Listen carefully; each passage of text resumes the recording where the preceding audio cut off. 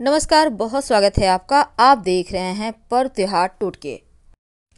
हिंदू पंचांग के अनुसार प्रत्येक माह के कृष्ण पक्ष और शुक्ल पक्ष की त्रयोदशी तिथि को प्रदोष व्रत किया जाता है।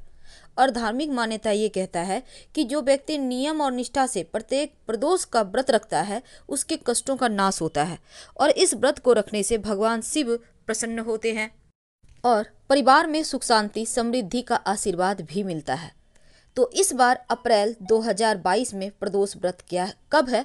लेकिन इसके पहले देखिए, प्रदोष व्रत, चूँकि भगवान शिव को समर्पित है तो प्रदोष व्रत का नाम सप्ताह के वार के अनुसार होता है। उसके फल की प्राप्ति भी उसी अनुसार बढ़ती है। तो इस बार अप्रैल के महीने में जो प्रदोष व्रत है, चैत्र शुक्ल त्रयोदशी गुरु प्रदोष व्रत है, गुरुवार 14 अप्रैल 2022 को। याद रखिए, चैत्र माह के शुक्ल पक्ष की त्रयोदशी तिथि है। गुरु प्रदोष व्रत इस दिन कहलाएगा क्योंकि इस दिन गुरुवार है।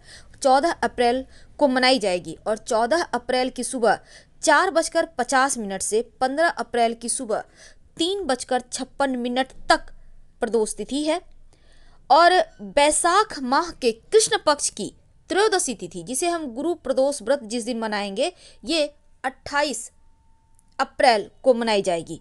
तो बैसाख माह के कृष्ण त्रयोदशी गुरु प्रदोष व्रत गुरुवार 28 अप्रैल 2022 को है और 28 अप्रैल दोपहर बारह बजकर चौबीस मिनट से 29 अप्रैल दोपहर बारह बजकर सत्ताईस मिनट तक त्रयोदशी तिथि है।